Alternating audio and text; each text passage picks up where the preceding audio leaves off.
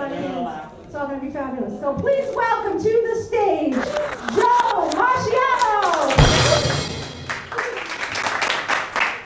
Hello there, all you boils and ghouls.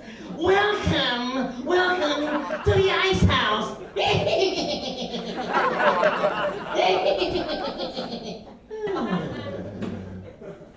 well, as you can tell, I like to do voices. Tonight, you're going to have special guests. Joel Osteen, the television evangelist.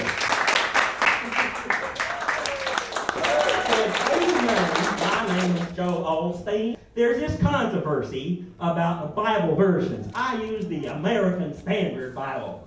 I have some other guests that would like to suggest to you a different version. I'm going to introduce my first guest. His name is Colonel Beauregard Claghorn. I said, son, I said, thank you very much, for that introduction. I say, before I get into it, I just want to have a bone to pick with Warner Brothers. Warner Brothers made me into a chicken. Disney wouldn't do that. I said, that's no joke, son. No joke at all. Now I want to get the point at hand. A Bible version that I use is a Southern Bible. No Yankee Bibles. No, sir. Why, thank you very much, Colonel. Now I have Margaret Hamilton. She's very famous for The Wizard of Oz. She played the Wicked Witch of the West.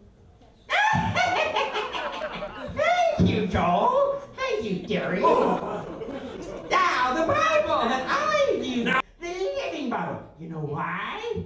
Because it's alive. It's alive. It's alive.